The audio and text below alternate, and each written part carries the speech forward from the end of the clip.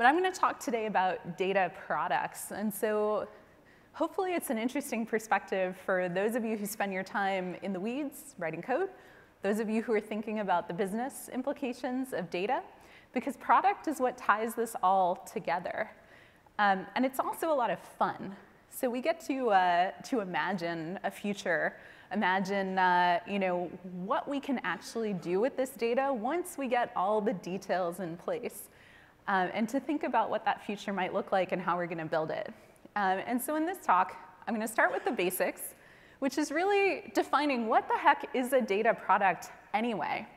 And the reason we have to do this is because in this room, we're going to have as many definitions as we have people. Um, if we were to go around and have everyone spout off what they think it is, it's going to be something different. If you ask investors, it's something else. Um, and so it's useful to sort of set some terms, to have a, a good uh, shared vocabulary and set of definitions. And so, for example, I know that um, there are certain words that mean some things to some people and not to others. So I'm sure we have in this room people who use the phrase data lake unironically every day. And we have people who come from startups who are like, why is it a lake? You know, that doesn't really make sense. And so, so let's try and bring our cultures together. Um, on the good side, we're finally getting rid of big data. Um, maybe no one agrees with me on this one, but I've always found this term a little bit difficult um, because it doesn't tell you how big uh, at all. And in fact, uh, even if you take an engineering point of view, how big um, like big enough to require specialized infrastructure changes every day, pretty much. Um, so this one's going away, so you might think, okay, now we're free, we can actually speak clearly, but no, we have now AI, okay, um, or AI again. Um, and I do believe it used to mean something, and now perhaps it means something a little more vague. Um, so, okay, you know, we, we still have to build things. Um, so where do we go from here? A very simple definition, data products are products that could not exist without the use of data in their creation. And I almost threw something in here about how it has to involve a cohort of analysis, not just a single person's data. Um, but then I thought there are enough pedants here that you're gonna argue with me and that would be like everything on Twitter and really um, we don't need to go there. Uh, though maybe we do, you can tell me if you disagree. But they're products that you could not build without doing some analysis in the process of building them. It seems pretty simple, um, and when we think about it in the terms of analytics, the data product, data science, machine learning, AI, they're pretty much all the same as they apply to product. Um, so what makes a good one, really? I'm gonna show you my favorite data product. It's Google Maps. Still my favorite. There are a lot of other really good ones out there. So what is remarkable about Google Maps? It is very boring, right? So anyone who grows up in Western society can look at this map and you know how to read it. So you can be driving in your car if that's the thing you do, and uh, look at this map and it tells you how to make decisions to get somewhere. And you can make those decisions and use this data with no understanding of the underlying infrastructure behind this. So what's going on here is quite remarkable. There's real-time data being gathered from your phones. There's prediction going on to figure out you know, what the traffic was historically and what it's likely to be today. Um, there's a lot of computation here. You don't need to know anything about it to use this product. And yet, it could not exist without that computation. So it's a great data product.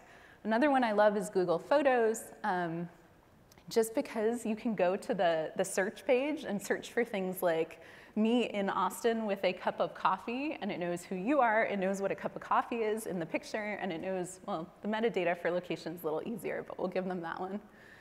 Um, another great one is uh, recommendation systems. I mean, we use them all the time. They're responsible in many cases for significant profits um, for folks who do them well, and yet it's still not a solved problem. Um, there's a lot of uh, interesting work going on in recommendations. So another one is this old app called Dark Sky. Um, again, if you live somewhere with nice weather, maybe you don't care, but I live in New York City, and so Dark Sky sends me an alert when it's going to rain or snow like it did this morning. Okay, so everyone with me so far? Data products, they're pretty cool, they need data, great. Um, so it's 2017. Why is this interesting now? So why should we be having this conversation today versus any of the many other conversations we could have? And I want to share one story, um, which is actually back from when I was chief scientist at Bitly, which is this social media analytics company. This is a real picture of my office at one point. Um, that is the little bub Yule log on the wall. If you need an hour of YouTube to just calm you down in the winter, it is the best thing. Uh, and that is a real peppy. Um, but this was uh, basically, we got a new Hadoop setup. This was years ago. We had to run a job to burn in the cluster. Um, and my coworker and I thought, okay, you know, wouldn't it be fun to see, given all this social media data, what people are sharing, what they're clicking on, um, you know, I like dogs, she likes cats. Which one do people share more on social media? And we realized, you know, the way you find a good question to ask often is to, to ask something until you have no good intuition for the answer, and then try and uh, do some analysis to validate it. And so we did, we ran an eight hour job over three years of social media data. This was including 80 million items shared per day, roughly. Um, this is a massive waste of energy. And the idea that we had computation power so cheap that we could apply it to something so absolutely trivial really blew my mind. Um, and it turns out dogs win. So um, you may all hate me now, but dogs. Eh, all right. So, so there are two kinds of change that really matter here, right? So one is that you can't do something at all. It's not possible technically, and it becomes possible. And that's what we usually think of when we think about a technical breakthrough, even in data science. Um, but this other thing where you go from nothing to being able to do it so cheaply, you can apply it to completely frivolous exploratory work, uh, is equally as important and it might even matter more. And that's where we are today with data products. So this is why it's important to have this conversation. And we see this changing in a bunch of different ways. So we have layers of abstraction that we can build on top of. So this is taking things that would take you, and here's a great example, right? Things that might have taken you weeks to do and make them take days or hours to do. Take things that took whole teams to do and make them things one person can do. And we see these increasing layers of abstraction. They're gaining more capabilities every year. If we look ahead, um, we can imagine that in, well, in one year we sort of know what the world will look like, but in five years um, we will all have superpowers um, that today seem uh, like hugely expensive and burdensome. We're also starting to see new kinds of interfaces. There's a ton of work going on around unstructured data and use of unstructured data particularly in natural language. Um, some of it is showing up in interfaces like chatbots. That's an interesting, um, interesting exploration. But really in being able to make those new types of data sets useful. Um, and that includes both media data as well as text data and structured data. And finally, people are making more and more of their data useful. So a lot of, of people who run businesses are finally realizing I have data sort of as a side effect of my business operations. It's the exhaust. And that data might be useful. And so when we say more data is becoming available um, within companies, it's not just things like, oh, we found out that sensors are really, really cheap and we can throw them in our products now, or whatever it may be. It's things like this. Like we took our mainframe and we actually got the data out of it. You know, we have a client we work with that actually has living data from the 1800s in some of their current models. Um, and this is just as important. And I think it's pretty cool. Um, but having data is not useful unless you have the right problems to apply it to. And here's one of my favorite examples of what happens when you forget to have the right problem to apply it to which is a couple of years ago, LEDs got really, really cheap. And again, you'll see I like dogs a lot. Um, and some folks went and created the disco LED outfit for dogs. And there's a fantastic video of a little dog walking around New York City wearing this outfit. And there's music, and everybody's very happy. Um, but maybe, maybe it was not the best, most focused, targeted use of this amazing technology. Maybe. I'm glad they did it, though. Um, maybe instead we look at applications where you have high value. And high value here means either we currently pay a lot of money to do it, um, or it is, and or it is very, very important to do well. Um, and so this was a, a, paper that came out January 25th. This is a task where we're looking not just at making radiology diagnosis much, much cheaper using deep learning techniques, but potentially giving access to high quality medicine to billions of people who would never have access to it. And so it is both that sort of zero to one and then all the way scale to a million. So first we think about automating the things we pay people to do. Those are high value problems. And then we can think about what's next? How do we scale this? What are the new things that were never possible before? But it's not, I mean, I'm an optimist and a pragmatist. It's not that easy. Um, and so I thought in this, in this room, it is appropriate to talk through some of the current challenges uh, that lie ahead for those of us who want to build data products. Um, and there are a lot of them, unfortunately. So you can't buy these things. Um, and this is something that keeps coming up where, you know, um, I'm in a room with someone and they say, okay, you know, I see that someone's doing something like this. I want that. And I just want to buy it from someone. I don't want to build it. I don't want to understand it. I don't want to get the data for it. Um, unfortunately, this doesn't work in our domain yet. And the reason why is that there is a generic formulation of the problem you want to solve. That is 10 times more complicated than the specific problem you want to solve, which means that as a data scientist, engineer, or business leader, the cost to solve your problem, it's possible and it's affordable if you have the right tools, the right people, and the right knowledge and the right data in place. But to build a generic version of that solution that you can sell to everyone who has a problem in that class of problems is so much harder um, that it doesn't happen well. And so you end up with a lot of mediocre solutions, vendor solutions, um, and then a lot of missed opportunities. And that's a big problem in the data product world today. The other one is that it's kind of hard, um, and it, it's really impolite to talk about anyone else's failures, so I'm going to tell you about one of ours.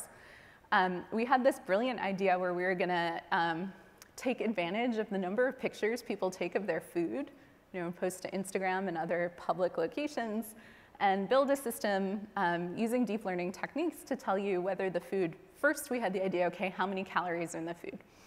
Um, then we scaled it down and said, because the, the biggest trick for data scientists ever is if you can't solve the problem you want to solve, find an adjacent problem that's much simpler that you can solve. So then we said, okay, we're not going to identify calories. We're going to say healthy or not healthy. It's at least, uh, it should be possible.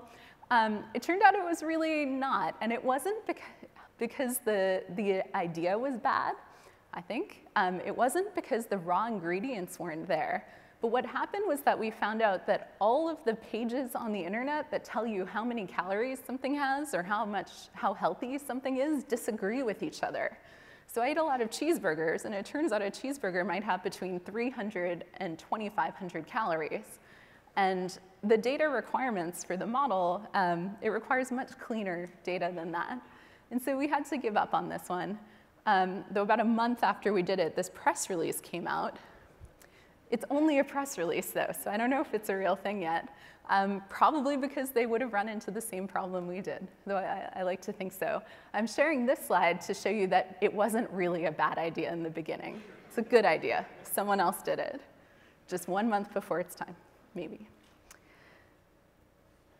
Another thing that happens are unpredictable edge cases, and these can have very severe consequences, particularly for folks working in um, either in regulated industries or in areas where the, the data product impacts health and well-being. Um, and so to give an example here, this is a thing we built that, again, using the deep learning system, takes your uh, Instagram photos and says, okay, here are things you like to take pictures of. It's called pictograph.us. You can check it out if you like. Um, this is more a demonstration of how these types of algorithms work than a real tool. Uh, and this is for an account called Bleecker Burger. They take pictures of burgers. I love it. But if you really drill into their account, there's this whole section called crabs. And if you look at it, you realize that everything it thinks is a crab is actually french fries next to water. Um, there, there are no actual crabs here. And this one, you know, you can kind of get why that would happen as an intelligent, creative human observer. I had another issue where, um, again, I live in New York and I take a lot of pictures of the New York City subway. I guess I'm bored waiting for the train. And uh, my result from Pictograph came back and told me I like to take pictures of correctional institutions and prisons because we didn't have the subway in our training set at all. Um, and the closest thing in the training set was this prison data. Um, and so this is, again, examples of where things go wrong. And because these models are themselves not interpretable, there's no easy way to go, go in and edit and say, OK, you know, don't say the subway is a prison. Um, there, there's a big challenge there. And this becomes a big issue when uh, you, know, you are legally required to not discriminate in certain ways, but you can't explain why your model might be discriminating. Just something to think about. Um, another problem we see pretty often is that organizations are structurally not designed to build data products or even to do data science robustly. Um, and when they are designed to do it, they're all different. So if you go and, and work at pretty much any tech company in 2017, they will pretty much develop software the same way. Um, the details will be different, but there's this notion of sort of agile flow. There's sprints. There's um, you know having a backlog or a queue, and uh, it works. Data science is a little bit different, and because software engineering is a much more established practice, it tends to get shoehorned into that particular practice without a lot of thought.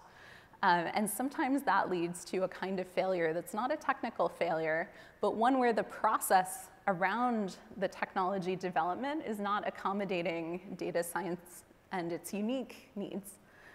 Um, and so I, I, would advocate if you need to name your data science process, just make it something a little bit different. Call it something like an experimental development process. You understand that there are different phases where you're researching, you're building models, you're productionizing models, um, you know, we can pick on Agile a bit. Um, it, they're the cool kids, so they can handle it. Um, you should always aim to find the simplest possible algorithm that will work at the scale you need to be at. Simplifies maintenance. Um, it's a pretty good rule of thumb. Have a plan for operationalization. That is where you build a model, you put it in production, so it's running against real data, maybe even in a real-time environment. Um, and then what happens? So the world changes, data drifts, your model might need to be retrained. Are you monitoring it? Do you even know when that happens? What is the quanti quantitative test mechanism you're using to understand when that has to happen? Is there a mechanism for getting data from the production service back into the training uh, of the model? Does that improve automatically or does it require somebody to drink a lot of coffee and like make it happen manually and then that person goes on vacation um, and weird things happen? And having worked on social media data, I can tell you weird things happen all the time. Um, this is something we need as a community to give a lot of thought to. And again, a lot of people are doing this really well, but there's no standard way to do it, and there's no one set of best practices. So right now, we're in the part of developing this as a community where we all sort of tell our stories and ideas. Um, but if you go from one company to another, you'll find this is done uh, really differently and we need more tools. Um, another thing I think is challenging for us is that um, user experience has not typically uh, been designed to work with data or data products or machine learning.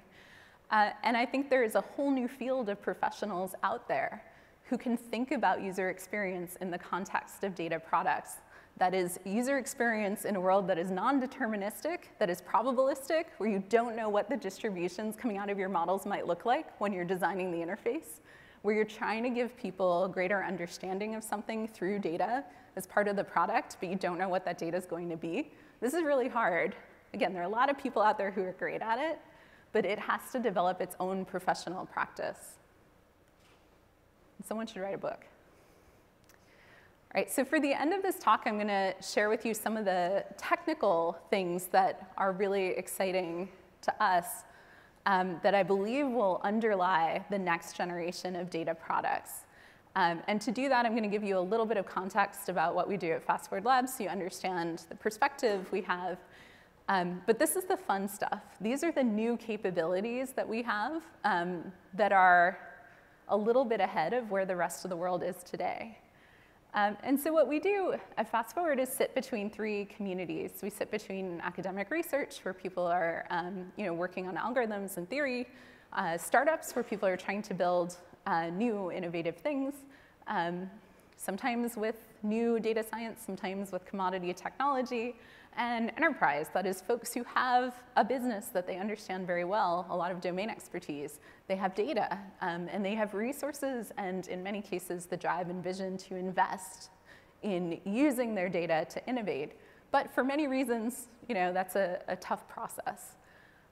And so we, we help those folks. Um, and it, it really surprised me a few years ago when I started working in this space to discover that there are actually huge opportunities uh, to build data products at these companies that you might think of as the evil empire. Really, there are no Avengers fans here. Is everybody that tired? Um, yeah.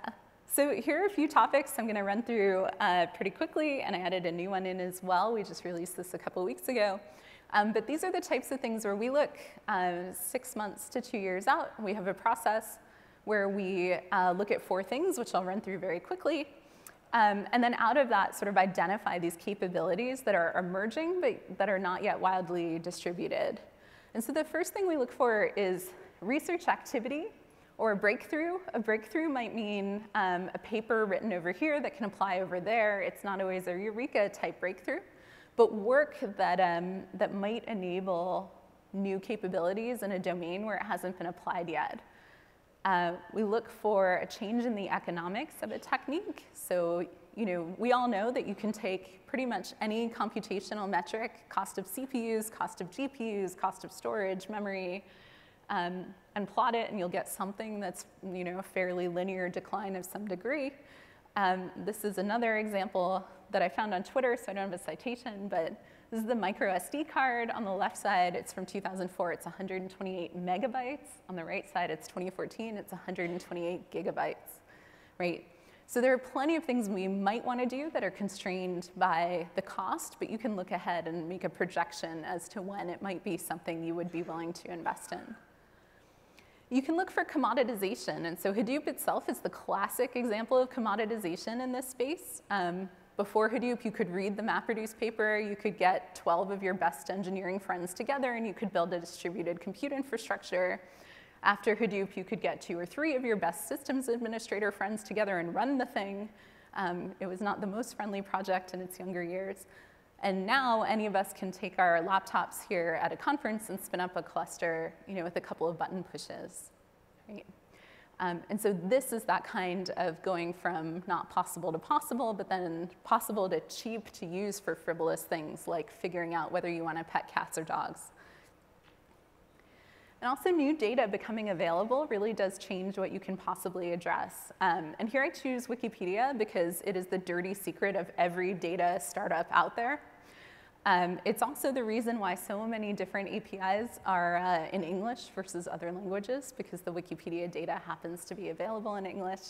Uh, and finally, the Wikipedia page on data science cited the creation of the Wikipedia page on data science as a significant moment in the development of the field of data science, which to me was like the most Wikipedia thing ever um, and merits it being here on the slide. But new data becoming available. And there are still a few things in our community where there are not good public data sets available. So for example, um, speech to text data is something that a few companies have a lot of it and it's really good, but those of us who want to work on it, um, there aren't really great public domain resources. So a few examples of things we think are pretty exciting, um, and this is the fun stuff. So natural language generation, which is taking structured data and generating narrative or articles automatically. And so if you've heard about this, it's usually in a context like this because journalists get really freaked out about this um, because they think this is robots coming to take their jobs. And it is true that the Associated Press now has an automation editor, which is someone's actual job. And they've gone from writing, I believe, 300 stories on quarterly earnings reports to 3,000 which implies that there are people who actually want to read 3,000 stories on quarterly earnings reports, but it seems to be working for them. Um, we wrote a, a, prototype of this that generates real estate advertisements. So to demonstrate how the technique works, we took 80,000 real estate listings in New York City. Um, it has structured data, so things like bedrooms, bathrooms, location, neighborhood, amenities. It has the unstructured narrative, so how the real estate agent wrote the advertisement for the property. So you can go ahead and put in your, your structured data, it'll write the narrative for you. It's things like, you know, unique two bedroom and one bath with chef's eat-in kitchen, and it's totally making this stuff up, but it is statistically what is likely to appear in such ads. And we learned a few interesting things. Um, as a, a side note here, one is that if a apartment is listed as cozy or small, it is 400 square feet smaller than the average. Um, also, if it is listed as big or spacious or grand, it is at the average or slightly below. So it, see, you guys get it. In doing this, you can find those little biases of real estate agents. Um, if they ever mention size, it's small, right? Um, we also applied this to a couple other domains in demo form, like writing restaurant reviews, but that was evil, so we put that one on the shelf. Um, what this is about is not writing articles automatically. Nobody is going to use this to generate their real estate advertisements, but for figuring out ways to make structured data uh, accessible. And so there are some people, they're rare, who love looking at numbers. There are some people, many of them in this room, who like looking at graphs or creating graphs or other visualizations. And then there, there are most people who like a sentence that says, here is the insight from this graph. You still have to do cognitive work for a graph. Um, this is what this data means, and these can be personalized. And so now we have folks who are using this to automate the generation of everything from regulatory filings to personalized reports on financial services investment portfolios. So you get a report of how your stocks are doing benchmarked against some cohort, um, to celebrity gossip, which it turns out is actually structured data. Again, Kim Kardashian wearing a sweater, it's, uh, there's JSON for it. Um, we live in a weird world. Um, summarization is another look at NLP. So this is applying deep learning to uh, essentially make text computable. Um, in our case, you know, we would take, we wrote a system that takes an article um, and it, it, builds a summary. So there are really two ways to think about this problem. One is I have an article and I want a summary of this article. Um, in this case, it's extractive summarization. So first it parses out the article to make it readable and then it goes ahead and pulls sentences out of the article that contain as a set the same information roughly contained in the full article. And you can run this on anything. It was trained on human authored summaries of news articles. So it works quite well on that. Um, we've been toying with the idea of doing one for technical documentation, uh, but haven't done that yet. There's another formulation of that problem um, using the same, same idea, but at a different scale, where you say, okay, I have 10,000 articles about the same thing. What are the clusters of points of view in these articles? And summarize each one for me. Um, and I like that because it, everybody understands summarizing one article, but it's something you could read the whole article if you wanted to. Um, but you couldn't read 10,000 articles, or in our case, we applied it to Amazon product reviews for things like dog toys. And believe me, you do not want to read five or 10,000 dog owner reviews of toys. Um, dog owners are very passionate. They say a lot of weird stuff. Maybe now you will go it, read it. Um, what this is about is not strictly summarization as a capability, but rather the ability to, to make text a computable object. So to take any arbitrary sentence and map it to a vector that can be compared in a meaningful way to other sentences or documents or subsets of documents. Um, this is a capability that I think will uh, show up in more and more places over the next couple years, and we're just beginning to see it out in the wild. And what we just did is on probabilistic programming, and for that, uh, you sort of have to change the way you think about the world. So these other things require fairly large, fairly clean data sets, um, which are sometimes hard to access.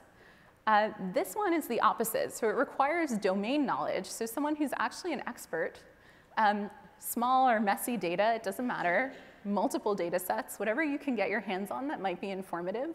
And you combine these things, Bayesian inference, with probabilistic programming languages to make it easy. um, to get a prediction of what the future looks like. But that prediction is not a single number, it's a distribution, and there are robust confidence intervals on that distribution. And so this is a technique where instead of having a black box deep learning model say, here's a score for you know, how likely your french fries are to be a crab, what you're getting is here's some information about the world that I've taken from understanding your prior beliefs about the world and adding in this data that we have access to. And so these are powerful techniques for helping people make real decisions. Um, and what's new and interesting here are the tools that are propping up where these distributions are a first-class data type. Um, so, so it's pretty cool stuff. The old sales pitch used to be, could be Nate Silver and five lines of code, but I don't think anyone wants that anymore. So we have to figure out sort of uh, what, what you want to be. Um, but it, it allows you to do fairly simple things like, again, real estate valuation um, by saying, you know, where will I be able to buy a property for a million dollars in New York? Yeah, it's really depressing, actually. um, all right. So what this represents is tools for combining your domain knowledge with what data you have, whether it be you know, small, messy, a couple of different data sets, to really learn about the world to make better decisions as a human professional. Um, and I think it is important to point out that many of these data products, they're not really about necessarily about automating the human out of the system, but rather enhancing someone's ability to have the right information at the right time to make a better decision. Cool. So we've come to the end. Um, again, I know I'm pretty much the only thing between you and freedom after two days of intense intellectual work. Um, so I won't go on much longer, but we will have time for a couple of questions. Um, but this is just to say that uh, data products are really exciting, and I think they're really important because too often data science gets put in the, the it gets put under a cover. It's hidden, it's about charts and graphs and analytics, which is really great, but it's counting things. Um, this makes it, this takes advantage of the capabilities that we have to actually change the way products are built, to change the user experience, to build things that just could not be built without those data science capabilities. Um, and so that's what I'm pretty excited about. I've been watching the field of data science um, grow over the last, I guess, eight years now. Um, and we've come along this evolution to the point where it is now uh, something that you need to have in pretty much um, any sort of product thinking or any sort of product process. So it's pretty exciting, and I do think we are really just at the beginning. And if we do it well, it's going to be a lot of fun over the next eight years or so.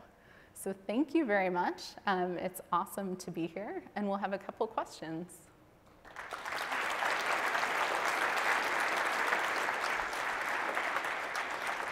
Oh. And if anyone is too shy to ask their question here, uh, you can get in touch with me on Twitter at hmason, or this is not very legible on the slide, but it's hilary at fastforwardlabs.com. And we have one right here. Uh, hi, uh, fantastic Hello. talk. Thank you very much. Um, so if I was an entrepreneur or a young data scientist who was feeling entrepreneurial, I'd be pretty terrified after your talk to get into the data product space. that is the exact opposite of the intention that but, I had. But the the alternative, though, is that the services space still has a lot of room for opportunity. Um, in, from your perspective, is there a point of inversion from when um, creating a data product company becomes less risky and more of an opportunity than creating a data sciences services company? Well, wow. So risk is something you will always take on, and creating a product company is always riskier than creating a services company, um, just because of the nature of how that business has to invest and scale.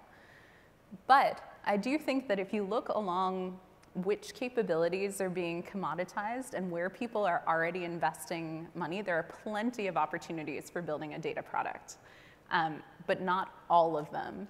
And some of the companies that have been built lately around pure data science or machine learning capability without mapping to an actual real business problem are essentially APIs in search of users. Um, so it, it shouldn't scare you. They're both great businesses to run, and I actually run a business where we do a bit of both. Um, so I can tell you that you can also use one to, to build the other. Um, and I think there are a lot of folks here who do that. Um, but it, it, really is important to have both the data science capability um, and the right business problem and domain expertise.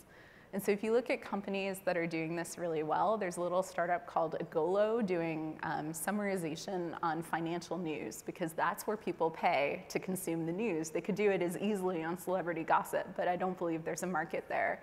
There's a company called Clarifai that does deep learning for image recognition, and they've gone from an API to targeted products around different domains for this reason. So it's really about finding that right problem and the person, maybe find a partner who has that experience and domain knowledge.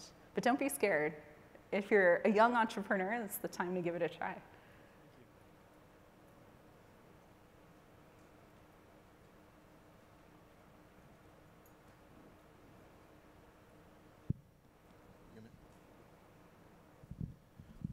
Uh, thank you. Great talk as well. Uh, so you, you, made a statement about um, shoehorning software engineering, traditional uh, techniques with data science. What are some of your experiences in formulating cross-discipline teams like that? Yeah, so this is one that is always really controversial and also something that I've personally um, struggled with in my own work for, for a long time because the agile, the book as it's written around agile software development assumes you are developing with commodity technology. It assumes you are building things that have, have essentially already been built before. And so the kinds of things you're typically building are, you know, user management systems or whatever it is. Occasionally you run into situations where you have to debug something, you don't know what's wrong, and it's one of those really hairy things that only happens on Tuesday at three in the morning or whatever it may be. Um, but the process is designed around predictability. It is not designed around research. And data science is often this idea of, I have a question. I have, well, if you're doing it right, you have a question. You have a quantitative error metric for understanding when you have a successful solution to that question. And it's an important question, so you've established that when you start. But you could spend two days and suddenly you have a better idea of whether it's possible or not, or two weeks, or you know, two years in some cases, uh, without getting to something that works. And so when you think about the process, um, you always have this friction between that research phase and um, delivering on a schedule. And so it now falls on a sort of ad hoc basis to the team manager to balance these things. And good managers do this naturally, they know how to do it. But bad managers don't, and there are a lot more bad managers out there than good ones, so it ends up being a problem. Um, to answer the question around how you actually build teams um, that keep both in mind, it's really uh, just making space for that exploratory process and making sure that your data scientists don't fall down that rabbit hole where they're doing something they're really excited about, but it's not going anywhere useful.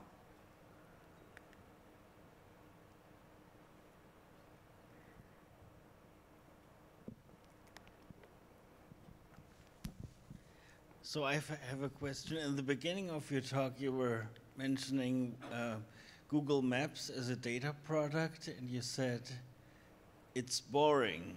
Yes. But isn't it really successful because it's useful? Yes. But when I say it's useful, nobody laughs. Um, so that's, that's what I mean. Thank you. You're welcome.